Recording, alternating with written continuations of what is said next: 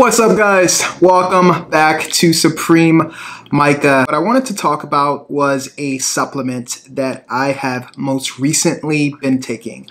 So this supplement is named ashwagandha. So I actually was approached by a company. This company actually offers many different type of products. One of the products that they do offer is that of ashwagandha. Now, this supplement is awesome. Now, in regards to me choosing this specific supplement from Vive Essentials, it was very interesting after doing some research from some of the benefits that this actual herb offers. So what I want to do is just share some background information in regards to what I've been doing over the last two weeks in regards to this supplement, building muscle strength and also muscle size. Guys, so in regards to ashwagandha, the supplement that I've been taking from Vive Essentials, I'm still in the review phase, meaning I'm actually still taking this product orally, okay? It comes in a capsule form. So I've only been taking it for about two weeks. It's going on two weeks today, all right?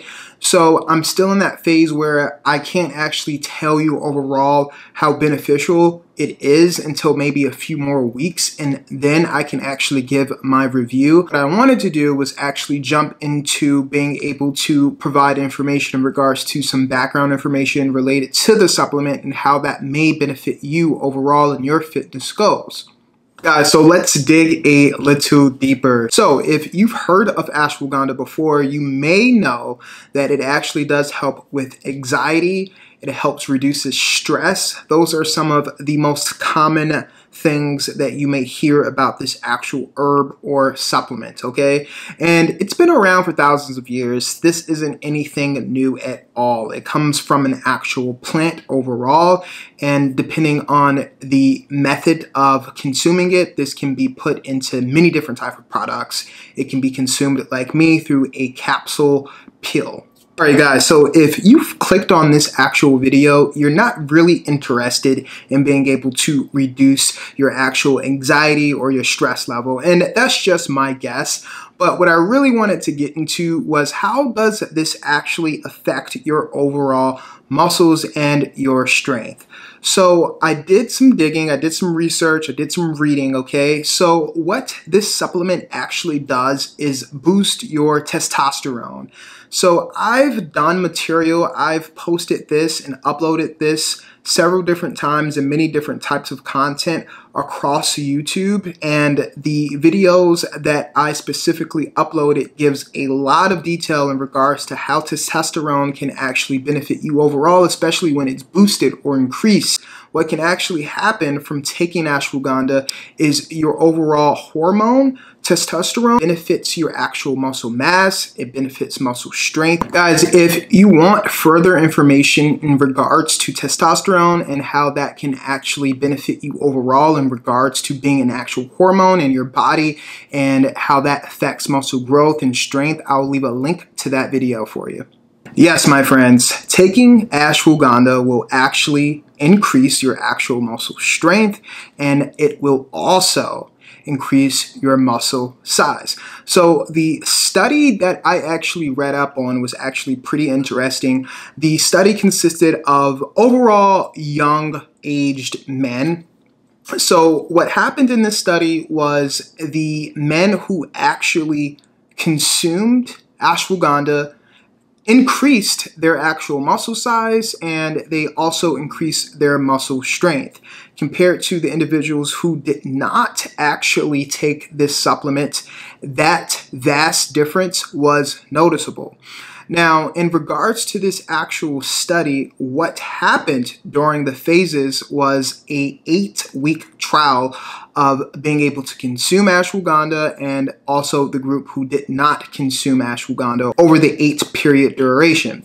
Now, what happened? What did they do in this actual study to actually figure out exactly did this work in regards to building muscle strength and also muscle size. What they did was resistance training. So for eight weeks, they actually performed resistance training in this resistance training, there were a few different exercises that they did too. Those exercises consisted of leg extensions and also the bench press. So not only did the group who actually consumed ashwagandha increase their overall muscle strength and also their muscle size, they also benefited overall from a recovery aspect or perspective. So those who weren't taking ashwagandha actually had a slower recovery rate. Now, the terms or the words that actually was used in this study was significantly. So in regards to the actual muscle strength and also the muscle size, those who were actually taking ashwagandha benefited significantly because of this supplement. In regards to the focus areas and being able to come up with a measurement to keep track of, the muscle strength and also the muscle size were the primary focus, but overall muscle strength was the most focused on in regards to being able to actually build muscle strength from taking ashwagandha over this eight week duration. That was the main focus, and it was definitely proven in regards to this study that I read. I'll leave a link in the description of this actual video so that you can read that yourself. It's pretty interesting too because I like the actual study that was performed. In regards to this study, they did pick men who was actually lacking in any prior experience in regards to actual resistance training. Not only that, they did provide the specific amount of ashwagandha that was being consumed over the eight week period in regards to resistance training was 300 milligrams. Now, in regards to the supplement that I'm taking from Vive Essentials, is actually 500 milligrams. I actually take that daily and I do that in the morning. Now guys, I know I can't actually give you a review right now because I probably need to maybe take this actual supplement for another about two to three weeks before I can be confident to say, all right, well, I benefited from this, I benefited from that, and it really does take a little focus to keep track of exactly what I'm lifting overall. I also have to take into consideration that I'm also taking protein. All right, so I'm taking a new specific type of protein I've never taken before, which is plant based. So that's something that I actually want to take into consideration too. But in regards to building strength and building muscle size overall, I would say that my experience in regards to this, it hasn't really been noticeable as of yet. I think that the strength, at least the muscle size that I've been able to develop over the last two weeks may be based on being consistent, okay? If you are resistance training or if you are weightlifting, if you're hitting your macros, if you're resting appropriately, I think that you will benefit overall from seeing muscle strength and muscle size. So right now, it's really hard for me to say, especially from going back into the gym since quarantine and working out in my own apartment with a barbell and a bench for the last few weeks. It's really hard to actually kind of pinpoint exactly exactly if ashwagandha is benefiting me overall. Now, one thing that I will be honest on is that in regards to the recovery time and in regards to me building muscle strength and muscle size, I'm not going to lie to you. I will say that I am feeling a little bit stronger since actually taking ashwagandha.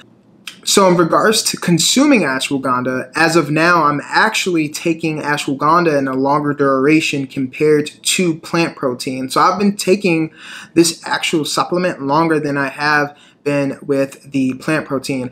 I have seen an increase in strength. And I must say this, this is where I actually see the increase in strength. This is something that I've noticed in my last workout. In regards to the strength that I've noticed while in the actual gym, all right, I've, for the most part, have been lifting the same amount, okay? But what I've noticed is the amount that I am lifting is actually becoming easier. So it's not the fact that I'm lifting heavier, is that my strength to be able to actually lift that weight is becoming easier. You mm-hmm. actually may be able to say, well, that could be from the ashwagandha that you've been taking from the last two weeks, or you can maybe say, well, that is based off of consistency, or maybe it's the actual plant protein that I've been consuming? I don't know. This is why I actually need to consume the supplement longer. One, I just have a lot more questions. I have a lot more focus on being able to make sure that I can understand what is benefiting my actual muscle size and strength overall in regards to my progress. I want to continue taking the supplement and give an honest review. Now, in regards to anything that I'm taking right now that may benefit my actual strength overall, you can easily say that eating regularly can also benefit from strength and also your actual muscle size because even without ashwagandha or even without plant protein, I'll still be able to increase muscle strength and also muscle size without that supplement or without even taking plant protein because it's based off of macros and nutrients from the beginning. In regards to protein and calories and fat intake, you will naturally gain muscle mass or muscle strength. The ability to be able to consume supplements is a benefit because it increases those supplements by a max or a minimum, and you will only benefit in the long run by not having to actually consume likely more calories to be able to actually intake more protein or fat or carbs, for an example. So I'm not necessarily worried that I'm actually consuming plant protein. That's something that really wouldn't be a factor in regards to this, but it's something that I am keeping a close eye on. Guys, if you are interested in the plant protein that I have been consuming, I'll leave a link for you to be able to actually watch my last YouTube upload, which actually consists of me providing somewhat of a review. I wouldn't say it was a full-blown review, but it was a review that I must say that you should actually watch if you're interested in that plant protein that I am consuming. Uh, one key factor that I also want to point out too, and I'll actually upload another video pretty soon in regards to plant protein, is that the supplement that I actually introduced in my last video was actually a meal replacement, but it was based off of actual plant protein. It was labeled as a meal replacement, but the actual protein, the consistency of it, the actual ingredients of it, it was still plant-based. So that's why I was actually still calling that actual supplement a actual protein-based supplement in regards to a protein shake, for an example. Actual plant protein that I recently purchased is labeled as an actual plant protein. It actually has about three grams more of protein than the meal replacement. I can also say that the actual meal replacement tastes better. In regards to the actual plant protein that I'm taking now, I would say that it doesn't taste as great as compared to the meal replacement, but I would say overall they're generally probably not that much of a difference.